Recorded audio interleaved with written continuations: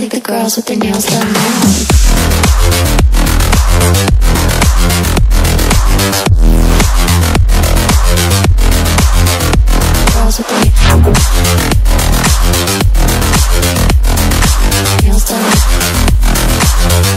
Girls with their nails done.